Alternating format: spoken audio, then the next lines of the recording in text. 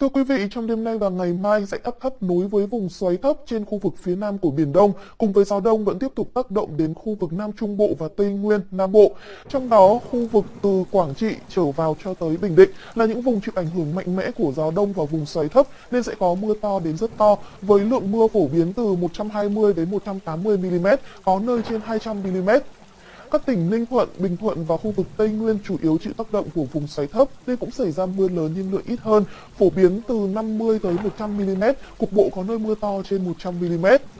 Dự báo từ ngày 22 đến ngày 23 tháng 11, mưa lớn trên khu vực Nam Trung Bộ, Tây Nguyên và Nam Bộ có xu hướng giảm, nhưng lại mở rộng lên khu vực Bắc và Trung Trung Bộ với lượng mưa phổ biến từ 40 đến 70 mm, có nơi trên 100 mm.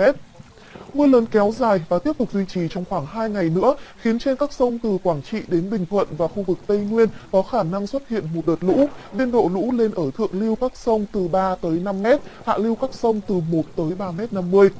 Đỉnh lũ trên các sông chính từ Quảng Trị đến Quảng Ngãi, Bình Thuận và khu vực Tây Nguyên lên mức báo động 1. Các sông nhỏ ở Quảng Ngãi, các sông từ Bình Định đến Ninh Thuận ở mức từ báo động 1 đến mức báo động 2, có sông trên mức báo động 2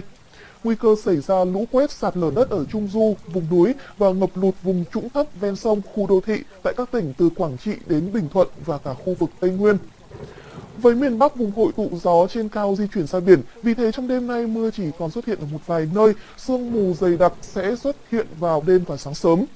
Sang đến ngày mai, miền Bắc sẽ đón ngày đầu tuần với thời tiết nắng giáo, nền nhiệt cao nhất trong ngày mai sẽ duy trì trong khoảng từ 28 cho đến 31 độ. Trên biển, khu vực giữa và nam của Biển Đông, vùng biển huyện đảo Trường Sa, vùng biển từ Quảng Trị tới Cà Mau, từ Cà Mau tới Kiên Giang cũng như là Vịnh Thái Lan sẽ có mưa rào và rông mạnh. Trong mưa rông có khả năng xảy ra lốc xoáy và gió giật mạnh ở mức cấp 7, cấp 8. Ngoài ra do ảnh hưởng của khối không khí lạnh nên vùng biển phía Bắc của Bắc Biển Đông có gió Đông Bắc đến Đông mạnh cấp 6, giật cấp 7, cấp 8 khiến cho biển động, sóng biển cao từ 2 tới 3 m 50. Vùng biển từ Ninh Thuận đến Cà Mau có gió Đông Bắc mạnh cấp 5, có lúc cấp 6, giật cấp 7, cấp 8 khiến cho biển động, sóng biển cao từ 1m50 tới 3m.